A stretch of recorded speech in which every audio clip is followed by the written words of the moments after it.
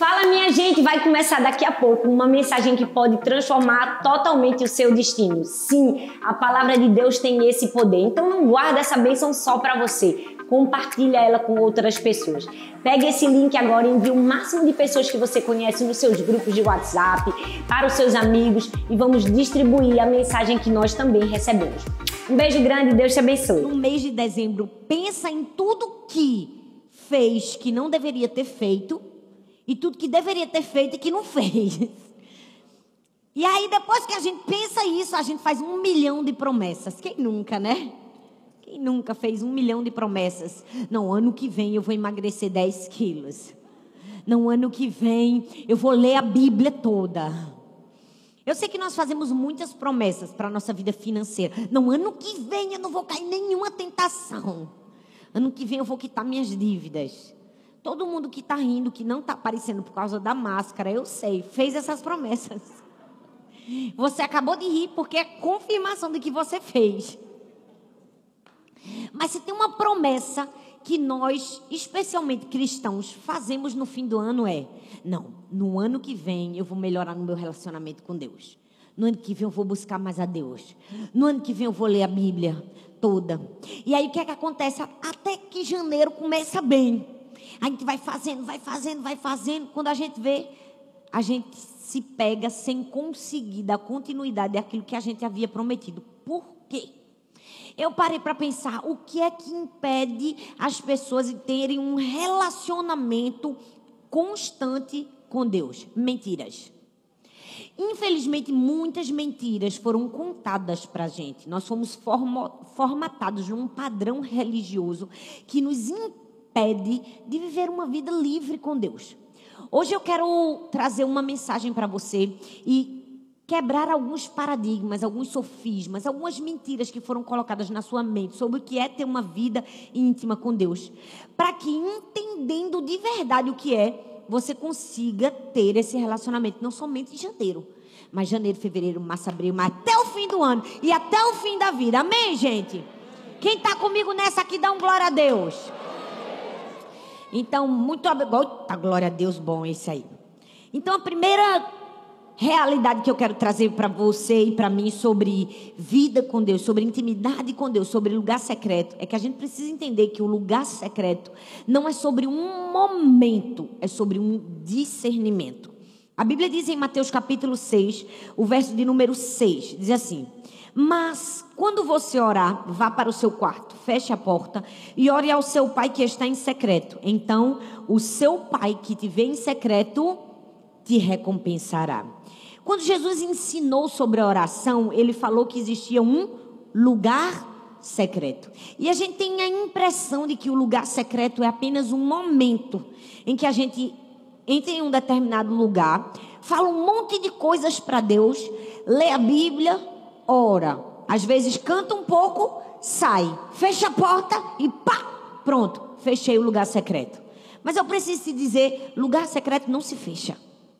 Se você tem esse entendimento que lugar secreto se fecha, você, você vai sofrer muito na sua vida. Você vai combater sentimentos de culpa quando você não estiver nesse lugar. Você vai combater sentimentos de inadequação quando você estiver fazendo qualquer outra coisa. Você não vai conseguir sentir a presença de Deus em atividades cotidianas e corriqueiras.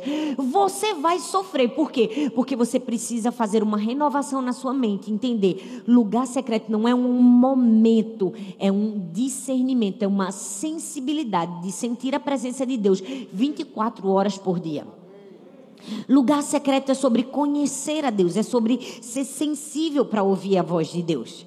E todas as vezes que Deus mencionou sobre um lugar secreto, falou de um lugar onde Deus responde a mim e a você. Para comigo e pensa, um lugar onde Deus nos responde. Por que, que às vezes a gente tem uma dificuldade tão grande de dar continuidade ao lugar secreto? Porque a gente acha que o lugar secreto é o lugar onde a gente fala. E a gente se esquece de dar a chance de Deus falar com a gente. E deixa eu te dizer, nós temos muitas coisas importantes para falar com Deus, mas as coisas que Deus tem para falar com a gente são muito mais importantes. E às vezes a gente está tão preocupado em falar todas as coisas que a gente considera importante que a gente deixa de escolher ou, ouvir o que é melhor. de ouvir a resposta de Deus. Às vezes a gente acha que lugar secreto é levar a nossa agenda para Deus, mas lugar secreto é ouvir a agenda de Deus para nós. Porque você pode falar, falar, falar, falar e nada muda na sua vida, mas quando Deus fala, algo acontece. Você fala, fala, fala, nada acontece. Quando Deus fala, o mundo, o universo passa a existir. Você entende a diferença do poder da fala de Deus e da nossa fala. Eu não estou dizendo com isso que você não vai falar, eu estou dizendo que lugar secreto é um lugar de troca. É um lugar de falarmos e deixarmos Deus falar com a gente. E aí tem muita gente que vai dizer, é pastora, mas é muito difícil entender o lugar secreto como uma sensibilidade ou ouvir Deus falar. Porque é fato, gente, é verdade. Nem todas as vezes que a gente chega diante de Deus, que a gente vai orar, que a gente vai buscar Deus, a gente vai voltar de lá com nossas orações respondidas. Sabe qual é o maior impedimento da gente ter uma vida de intimidade com Deus? Porque a gente acha que quando a gente está naquele momento espiritual, lugar secreto, a gente vai falar, falar, falar, e a gente vai parar para ouvir. Pronto, Deus fala. E 99,9% das vezes, pelo menos para mim, que eu vou orar, eu volto com orações não respondidas, desejos não alcançados, expectativas frustradas. Por quê? Porque eu não posso dizer para Deus quando e como falar comigo. É Deus quem escolhe o dia, a hora, o momento. E aí a gente formata Deus numa caixa. A gente diz assim: agora eu vou orar, agora eu vou ficar cheio do Espírito Santo, eu vou falar com Deus. Deus não falou comigo Problema seu, Deus fala com você a hora que Ele quer. Ele não tem que falar naquela hora? Aí a gente formata de que Deus não falou com a gente porque não falou na hora que a gente queria que Ele falasse. Deixa eu te dizer uma coisa: você pode falar com Deus hoje de manhã e contar para ele uma necessidade sua e ele só vai te responder à noite. Num momento mais inesperado, mais irônico ou engraçado possível, Deus pode te responder. E às vezes você não está ouvindo a voz de Deus, porque simplesmente você formatou na sua cabeça que o momento que ele tinha que responder era naquele momento espiritual que você orou de manhã. Você entende a diferença quando você sabe que lugar secreto não é um momento, é um discernimento, é uma sensibilidade. É 24 horas por dia, 7 dias por semana. Às vezes a gente cria muitos é, padrões religiosos. Tem gente que é assim, Deus só fala se estiver numa igreja com um banco de madeira. Se for acolchoada a cadeira, perdeu a espiritualidade. Não é? Se a igreja foi escura, piorou. Porque infelizmente Durante muito tempo, muitas pessoas ficaram cegas espiritualmente. Elas acharam que Deus só falava desse jeito ou daquele jeito. Deixa eu te dizer, Deus não é obrigado a responder nem falar comigo na hora que eu quero, mas eu posso fazer uma escolha. Eu posso fazer a escolha de, ao invés de ir ao lugar secreto, ser o lugar secreto. Então, quando Deus decidir falar comigo, eu vou ouvir no tempo, na hora e no lugar que Ele mesmo decidir. Eu e você precisamos entender há uma diferença entre ir e ser.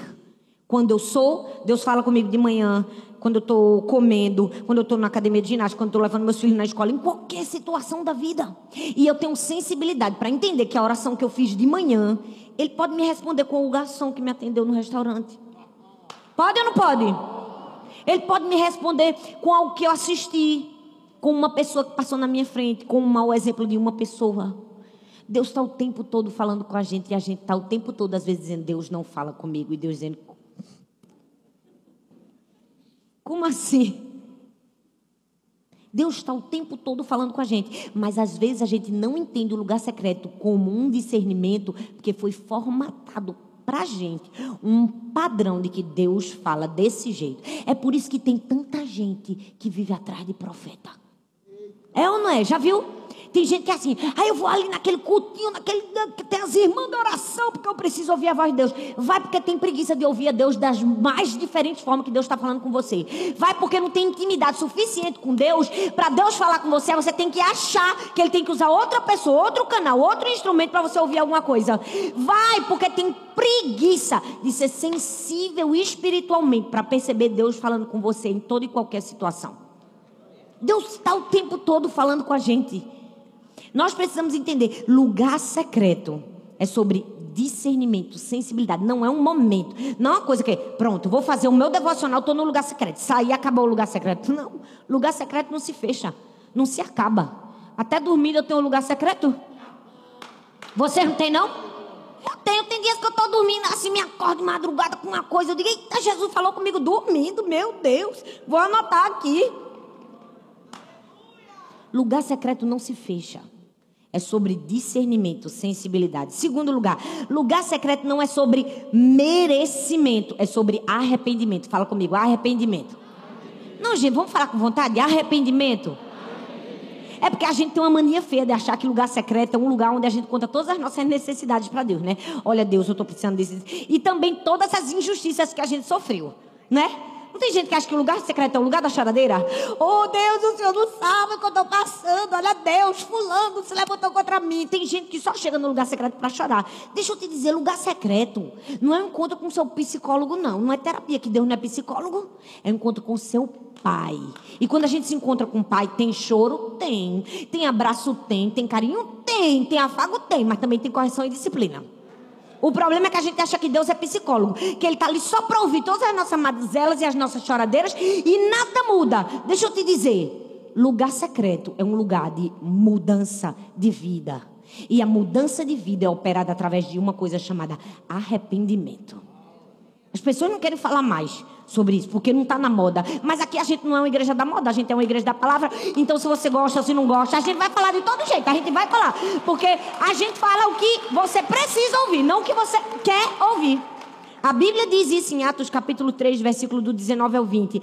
Arrependam-se, pois, e voltem-se para Deus, para que os seus pecados sejam cancelados, para que venham tempos de descanso da parte do Senhor. Lugar secreto é um lugar de arrependimento, gente. Não é um lugar de merecimento, não.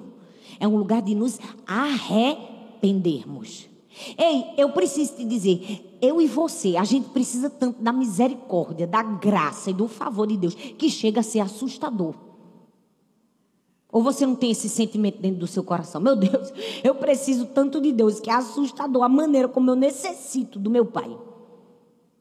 Eu sou completamente dependente. Por quê? Porque eu e você, todos temos raízes de iniquidade dentro de nós, que a gente só consegue enxergar com a ajuda de Cristo. Ele vai nos mostrando aquilo que às vezes a gente não está conseguindo ver. E como é que ele faz isso? Faz através da intimidade com Deus. Sabe por quê? Quando você para um tempo quando você começa a ler a Bíblia, Deus usa o fogo da palavra de Deus, combinado com o fogo das circunstâncias que você está vivendo, une esses dois fogos e ele mostra tudo que está na nossa vida que precisa de conserto. É um fogo que se junta a outro, pronto. É um fogo que dá certo. É um fogo que dá resultado. Arrependimento. Eu preciso te dizer, lugar secreto é um lugar de reconhecermos que precisamos de mudança de vida. E tem muita gente que acha que a palavra arrependimento é uma coisa ruim. Misericórdia, arrependimento. Ai, meu Deus, já pensa numa coisa ruim. Não, arrependimento é a melhor coisa que existe. Arrependimento é a oportunidade que Deus dá para mim e para você de ficarmos longe de tudo aquilo que nos afasta do coração de Deus. Arrependimento é maravilhoso. Arrependimento é a chance da minha volta. Deus dizendo assim: olha, tem uma coisa impedindo o meu amor com o seu amor. Vamos tirar do meio do caminho? Isso é arrependimento. É quando você para por um momento e se percebe: meu Deus, eu estou dando meu tempo mais para isso do que para Deus. Meu Deus, o meu amor está mais para isso do que para Deus. Arrependimento é a voz do Espírito Santo falando lá dentro, quando as nossas motivações estão desalinhadas. É a voz do Espírito Santo lá dentro dizendo: para que isso? Qual a sua motivação nisso? Eita! Trocou o coração? Lugar secreto existe para isso. Para que nós possamos derramar o nosso coração e entender que somos carentes da graça de Deus. E o quanto de iniquidade muitas vezes nós temos. É por isso que a Bíblia diz que Deus se agrada daquele que tem um coração contrito, quebrantado, ou seja, um coração tendencioso a perceber que precisa de Deus. Por que que Davi, um homem que pecou e que fez coisas tão horrendas como trair a mulher e não somente ser capaz de adulterar, ele foi capaz de matar o marido da amante. Aí você olha, esse homem foi chamado um homem segundo o coração de Deus. Por quê? Porque Deus se agrada de quem tem um coração quebrantado. Porque ser santo não é nunca se sujar, é sempre se lavar, sempre se lavar, sempre se quebrantar, sempre se arrepender. Essa tem que ser o nosso estilo de vida. Você pode errar hoje, mas hoje mesmo você se arrepende e não cai naquele mesmo erro. Ei, vida de intimidade com Deus é uma vida de arrependimento. Fala comigo, arrependimento. Sim, lugar secreto não tem nada a ver com merecimento. É arrependimento. Mas nós precisamos também entender de uma vez por todas. Perceba que essa é uma palavra muito simples mas é também uma palavra muito profunda. Porque às vezes todas essas mentiras ou impressões que nós tínhamos atrapalhavam a nossa vida de intimidade com Deus. Não deixava a gente ter uma vida de intimidade com Deus. Quer ver outra coisa que nós precisamos entender? Que lugar secreto, vida com Deus, não é sobre ganhar o conhecimento de um livro, é sobre ganhar o conhecimento de uma pessoa. A Bíblia diz em Mateus capítulo 22, verso 29 vocês estão enganados, porque não conhecem as Escrituras nem o poder de Deus. Esse texto fala três tipos de pessoas. E eu vou falar, e à medida que eu falar, pode ser que você lembre de alguém. Só fica com ela na sua cabeça e não fala nada. Em nome de Jesus, que acusador é Satanás. Não somos nós. Amém, gente? Aqui primeiro falam das pessoas que conhecem as escrituras, mas não conhecem o poder de Deus. Conhece uma pessoa assim? Que conhece a Bíblia, conhece as Escrituras, mas o poder de Deus não conhece. Já viu? É um tipo. E tem gente que conhece o poder de Deus, mas não conhece as Escrituras, não é? E tem gente que não conhece nem o poder de Deus, nem as Escrituras. E o que é que nós precisamos? Conhecer o poder de Deus e as Escrituras. Porque isso é vida com Deus. É buscar conhecer, não um livro, mas uma pessoa. O maior erro dos fariseus é que eles dissecavam as escrituras, não para conhecer o autor, mas para conhecer o livro. Nunca leram com o coração, leram com o intelecto, por isso que não experimentavam mudança de vida. Ei, eu e você precisamos buscar e caminhar nessa busca de conhecer a Cristo, porque só Cristo pode mudar a nossa vida. Quantas pessoas prometem no fim do ano, vou ler a Bíblia o ano todo, e não conseguem, não tem um relacionamento pessoal com Cristo. Por quê? Porque quer ler apenas com o intelecto, quer saber todas as igrejas do Apocalipse, todos os livros da Bíblia, quantos discípulos eram os nomes. Gente, quando você bater no livro de números ou numa genealogia, você vai pirar. Porque tem hora que a nossa mente é limitada para conhecer todas as coisas. Mas eu preciso te dizer: se você lê a Bíblia para conhecer as verdades preciosas e a pessoa de Cristo Jesus, você vai do começo até o fim, porque não cansa, você não está lendo com o intelecto, você está lendo com o seu espírito, você está lendo com fome, com o coração. E não tem como ler a Bíblia com o coração e não ser tocado por ela. Porque muitas pessoas começam e não terminam, porque querem conhecer somente o livro. Querem ler a Bíblia para dizer, li a Bíblia o ano todo. Gente, tem gente que leu a Bíblia dez vezes e nunca conheceu a Cristo. Mesmo se Cristo está sendo revelado da primeira página até a última, de Gênesis a Apocalipse, não tem um relacionamento com Jesus. Por quê? Porque leram com o intelecto, simplesmente, e não leram com o coração. Não buscaram conhecer a Cristo, mas apenas o livro. Você precisa entender que vida de intimidade com Deus não é conhecer sobre um livro, é conhecer sobre uma pessoa, a pessoa de Cristo Jesus. E eu preciso te dizer, a melhor e mais afortunada aventura que existe no mundo é conhecer Jesus. Quanto mais você busca conhecer a Jesus, eu preciso te dizer, quando você procura conhecer Jesus, é como se você estivesse pintando um alvo em você. Você será achado. Cada dia que você busca mais conhecer Jesus, é como se você estivesse fazendo aquelas linhas. Uma hora faz a vermelha, depois faz a branca, outra vermelha, outra branca, até chegar aquela do meio. Quando você busca conhecer a Jesus, você será achado. E não sou eu que estou te dizendo isso. A Bíblia diz: Eu amo os que me amam e os que me buscam me encontram. Quanto mais você busca o Senhor, você será achado por Ele. Você tem noção do que é isso? Ei, vida com Deus é isso, é ser achado pelo próprio Deus. Intimidade com Deus é sobre isso. Intimidade com Deus não é sobre obrigação, é sobre necessidade. Fala comigo, necessidade. Gente, esse é um ponto muito importante que eu preciso falar para você. Lugar secreto não é obrigação, é necessidade. Eita, pastora, que coisa simples. Vou provar que não é tão simples assim, não. Porque muitas pessoas não conseguem ir adiante, porque acham que é uma obrigação. Não vê como uma necessidade. Vou te explicar. A necessidade, ela transforma a vida das pessoas. Essa semana eu estava andando no carro com uma pessoa e ela estava contando a experiência da vida dela. E ela era uma pessoa muito generosa, que gosta de presentear várias pessoas. E ela disse assim: Pastor, eu faço isso, sabe por quê? Porque um dia eu já passei fome. Quando ela me disse aquilo, eu disse: Sabe o que é isso? A necessidade transforma a vida das pessoas. E é verdade. Eu preciso te dizer: eu sou doadora de sangue. Desse tamanho que eu sou, pequenininha, mas Quatro em quatro meses eu estou lá doando. Com exceção se eu tiver com, com. Como é? Tem horas que eles não deixam a gente doar? Com anemia ou qualquer outra coisa, ou com alguma cirurgia, tem, tem que esperar um ano. Mas eu sou doadora assídua de sangue. Por quê? Porque a necessidade transformou minha vida. Porque um dia eu tive uma filha, três meses num UTI do hospital, e eu precisei de sangue. Pessoas doaram sangue para ela. E porque pessoas doaram sangue para minha filha, eu me sinto na obrigação de dar sangue para outras pessoas. O que é isso? A necessidade transforma a vida das pessoas. Se você vê uma pessoa se afogando no meio do mar, e ela. E quando ela volta para a superfície, você perguntar, você quer o quê? Ela não vai dizer assim, me dê uma coca com gelo e limão, por favor? Vai? Vai, minha gente. Ela vai dizer, eu quero uma água com gás. Vai? Ela vai dizer, me dá um pedaço de bolo do food park. Vai?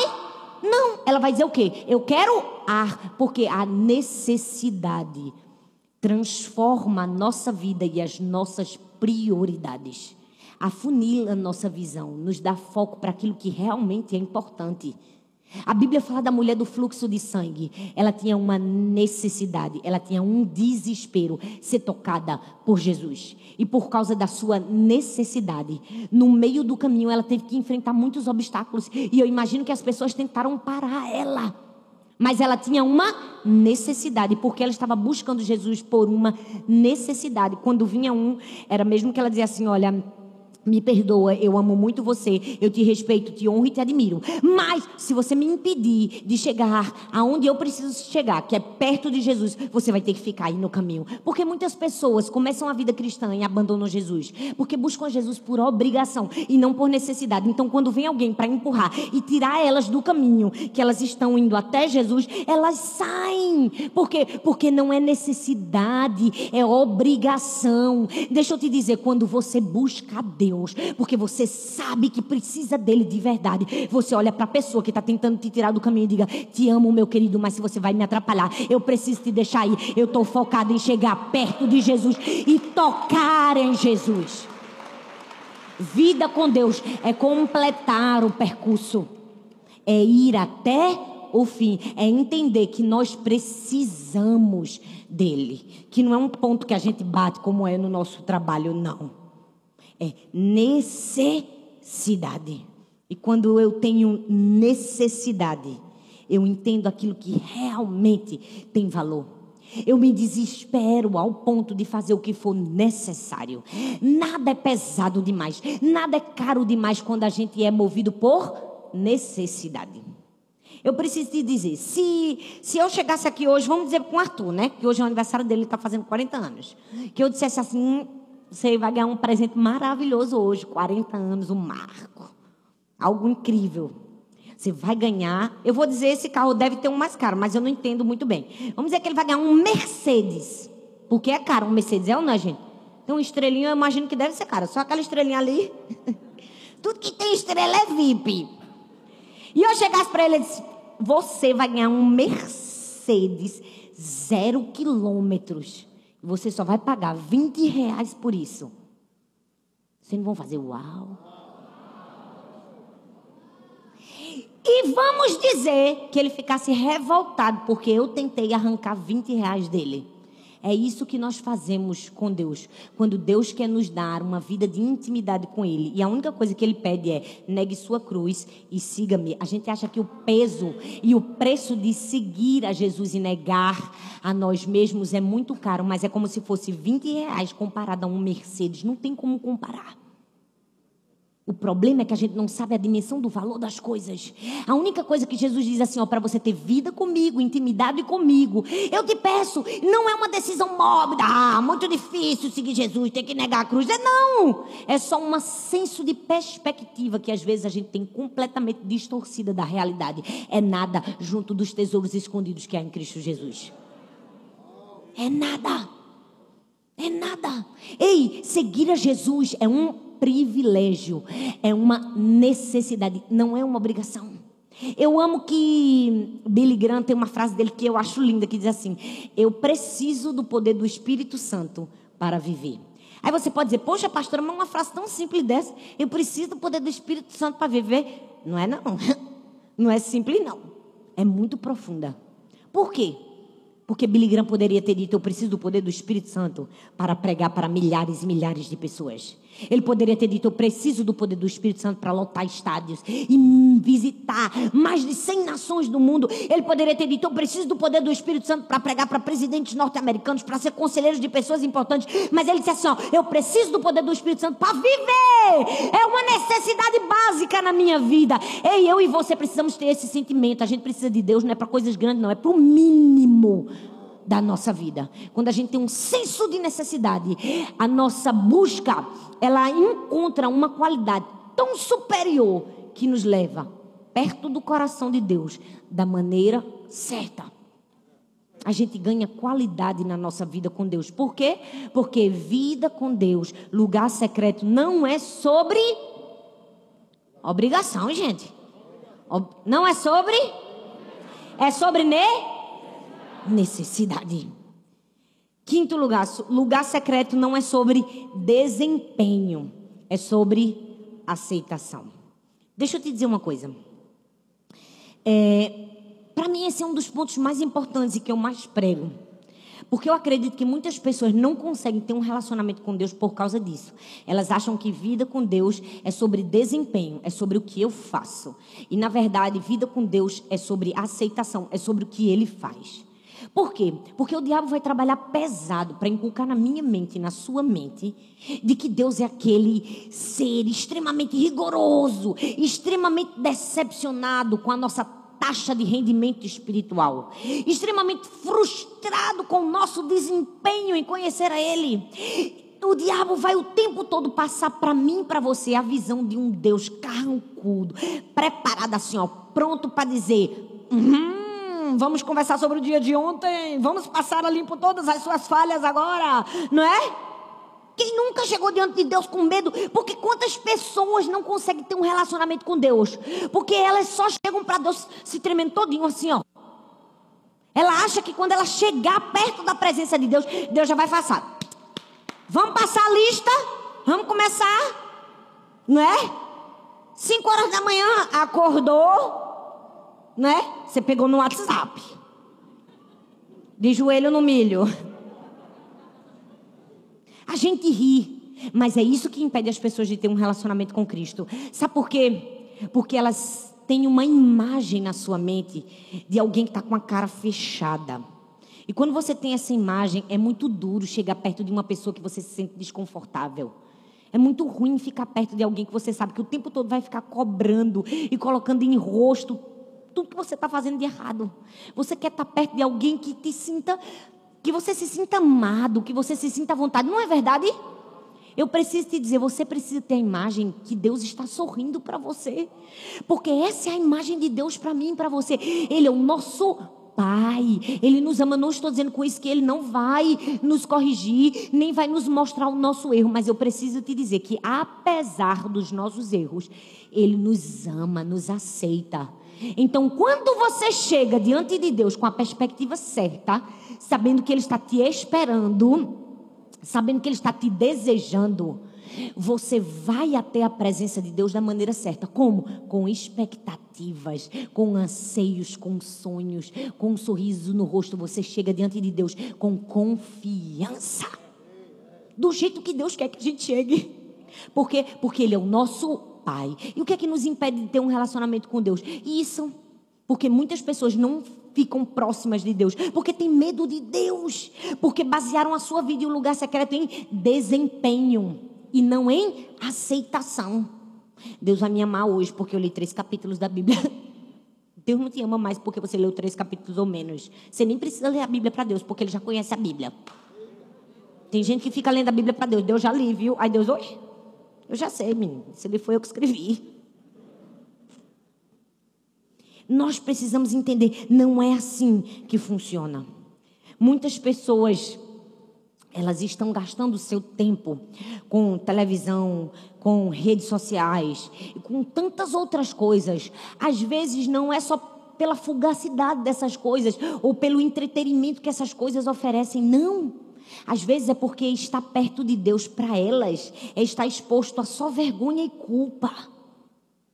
E Deus não é um Deus que vai nos receber com vergonha e culpa, Ele vai nos receber com amor, com aceitação, e logo em seguida, Ele vai levar sobre Ele a vergonha e a culpa. Quando Ele disser para mim e para você aonde nós erramos, mas também vai nos dar o caminho, a direção para acertarmos. Porque Deus não é um carrasco que só está o tempo todo preocupado em mostrar que a gente errou. Ele é um Deus que nos ama, que mostra o erro só para apontar o caminho certo. Ele não é aquele que está só passando na nossa cara. Ele não passa na cara, ele não precisa passar na cara. Ele não tem uma autoestima baixa. Quem passa na cara é que gente que não tem segurança de si próprio tem que passar na cara dos outros que faz alguma coisa. Você entende?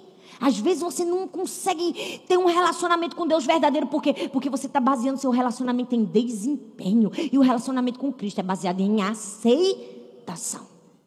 E em sexto e último lugar, nós precisamos entender que lugar secreto não é sobre aparência, é sobre permanência. Fala comigo, permanência. Não, gente, fala com vontade. Permanência. Porque tem muita gente que tem intensidade, mas não tem constância. E mais importante é ter permanência do que ter aparência. Você já viu que tem tanta gente que tem intensidade, começa o ano. Não, esse ano vai ser diferente. Aí passa três dias de João, três dias só de água. A pessoa está se tremendo, já morrendo.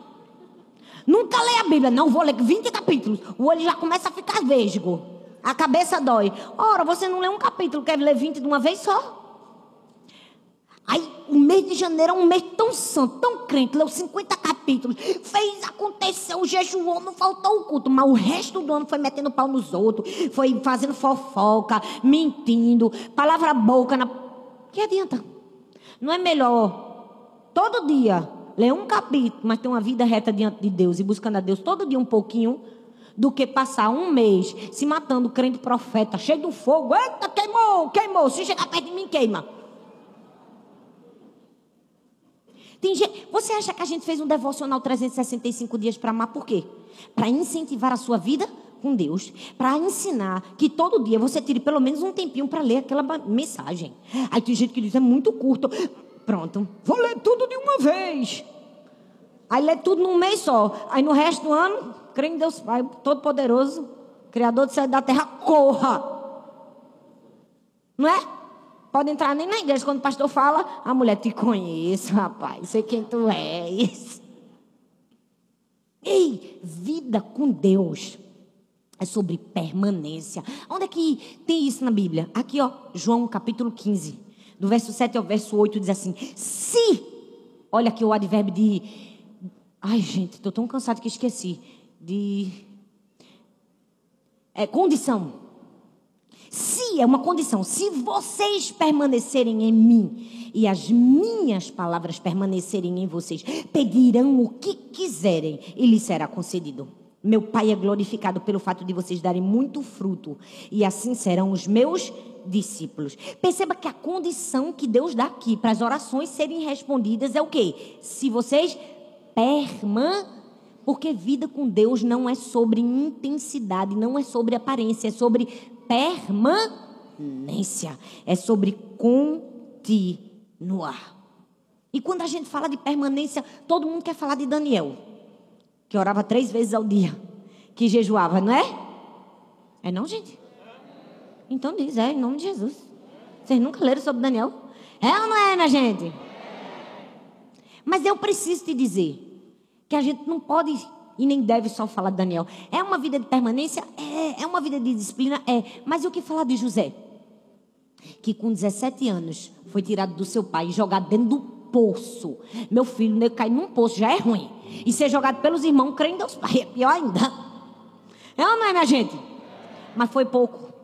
Ele foi promovido por Deus. Promovido aqui? Promovido a escravo. Trabalhou mais de 10 anos, incansavelmente, fielmente, para um camarada que, na primeira mentira de uma endemoniada de uma mulher dele, jogou ele aonde? Foi promovido. Foi promovido a presidiário. Foi para a prisão, onde ajudou todo mundo e todo mundo se esqueceu dele. Mas ele permaneceu firme até o fim. Por que não falar de José? Que diante de tantas intempéries e tantas circunstâncias adversas e tantas dificuldades da sua vida, permaneceu. Permaneceu. Não porque ele queria chegar no lugar de glória. Não porque ele queria agora ser o governador. Olha aí, ó, quem te viu passar na prova e não me ajudou. Não. Porque ele sabia que permanecer levaria ele a um lugar alto. Sim. Para que ele fosse glorificado? Não para que toda uma geração fosse salva da fome e para que ele pudesse fazer pelos irmãos o que eles nunca fizeram por ele. Sabe o que é isso? Senso de destino, de propósito, permanecer com um, tendo em mente algo maior. A minha vida não gira em torno de mim mesmo. Quem tem vida com Deus permanece e chega na posição que Deus sonhou. Eu preciso te dizer: buscar a Deus e conhecer a Deus é o tesouro mais precioso que eu e você podemos ter. Porque quem tem intimidade com Deus, todo o resto se alinha. Por isso que Arthur fala tanto sobre isso. Sem Bíblia não tem café, é devocional, é tanta coisa, é premissa fundamental da nossa igreja. A gente bate nessa tecla. Tem que ter vida com Deus. Não adianta ser esquentador de banco de igreja. Não adianta chegar aqui no culto, assistir todo. Ai, que linda, minha igreja é linda. Ai, minha igreja é maravilhosa. Meu Deus, glória a Deus. Cheio do fogo, que presença do Senhor. Se na sua casa não tem isso. Não, a minha igreja não é linda. Eu sou a igreja do Senhor. Minha vida é cheia do fogo. Minha vida é cheia da presença de Deus. É diferente. Eu saio daqui, o culto continua. O culto continua. Deus continua falando comigo. Deus está falando comigo e amanhã ele vai falar de novo. Porque amanhã, quando eu acordar, eu vou ter o meu tempo com Deus. Mas quando eu falar para Deus, eu vou ficar ligado, ó, porque durante o dia ele pode falar comigo. Você já parou que se agora, por um momento, eu dissesse assim para você: você acabou de ganhar na sua conta do banco um milhão de dólares. Olha, Deus, todos que gritaram, dê a eles. Mas os que não gritaram, bota tudo na minha conta, Senhor. Não estão querendo. Estão querendo, não. Aí pode jogar no caso. Tô brincando. Já pensou um milhão de dólares na sua conta? Eu não tô falando real, não, gente. Tô falando dólar. Tá 100 reais o dólar. Um milhão de dólares. Adianta você ter um milhão de dólares na sua conta somente? Para acessar um milhão de dólares, você precisa de quê? Vai precisar de uma senha para tirar do banco. Vai ou não vai? Nossa vida com Deus é assim. A gente tem uma riqueza imensurável. Mas a gente tem que ter uma senha para tirar. Qual é a senha? Intimidade com Deus. A senha que te dá acesso a tesouros inesgotáveis é uma vida de intimidade com Deus. Eu quero que você fique em pé no seu lugar.